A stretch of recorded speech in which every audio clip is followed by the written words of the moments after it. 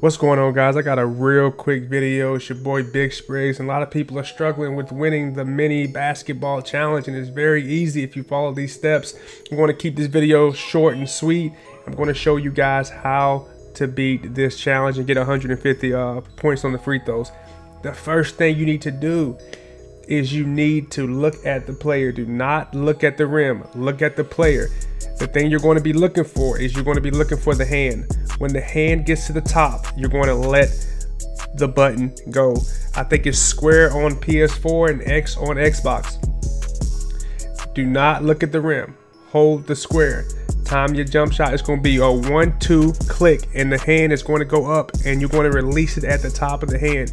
If you do this method, you will win it every single time. I was struggling. I was seeing other people. I was getting like 120, 110. I'm seeing everybody else get like 54, 76. And I'm just like, man, it's not that difficult. So I'm like, I switched my style up and I went and watched the hand and it was it was almost too easy at that point.